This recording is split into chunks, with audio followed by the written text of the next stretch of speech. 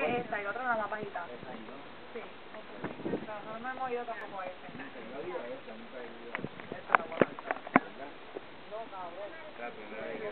La.